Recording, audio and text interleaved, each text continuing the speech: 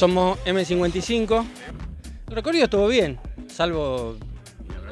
Sí, el- el- pero no, no, estaba bastante bien. Se complicaba a veces cuando había muchos botes, pero por el, por el agua baja, pero la verdad que estuvo bien. Bueno, quiero preguntarle la posición, todavía no la saben, ¿no? No, no, todavía no, todavía no la sabemos, pero bueno, nosotros hicimos una, un buen, una buena regata.